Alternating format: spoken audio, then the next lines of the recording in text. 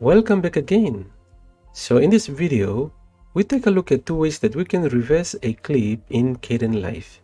So let's see how we can do that. For the first example, simply drag your clip, selecting it, right click, and then change, select the change speed.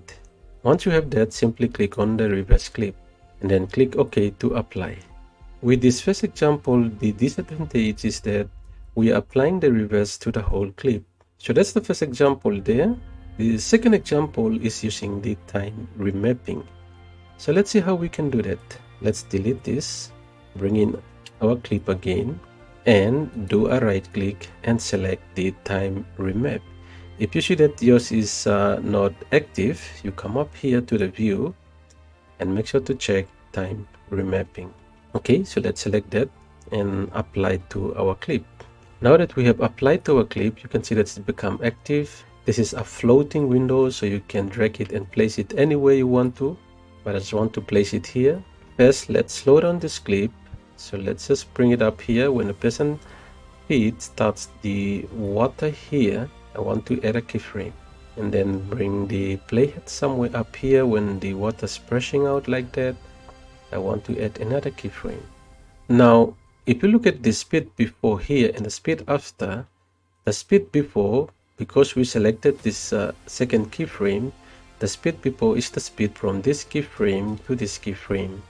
The speed after is from here to here. If we should select the second uh, first keyframe here, then the speed before will be from here and the speed after is from here.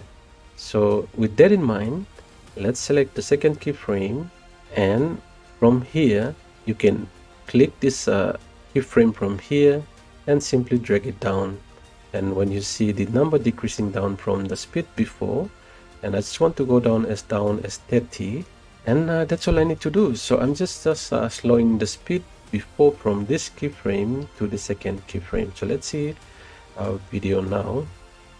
So here you can see we just slow it down from there. Now I want to reverse this clip. So to do that I want to create an X using this keyframe here.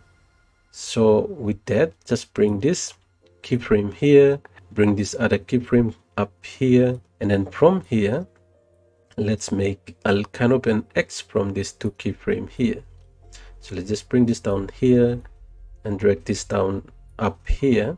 So when the playhead comes here, it's gonna reverse this all the way to here and then it's going to go normal again. So let's see how that applies. So here and now it's reversing again and then it's going back to normal.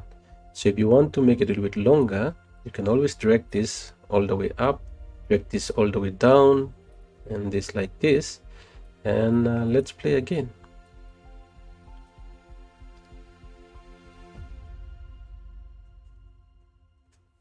Okay, so you can see that we just reversed uh, everything again. So that's the two ways we can uh, reverse our clip. Uh, the disadvantage of the first example is that uh, you apply the reverse to everything. The advantage of the second example using the time remapping, you are able to add a keyframe, you are able to speed, slow down, and then reverse the clip. That's all for this video and thank you for watching. See you all back again in another video.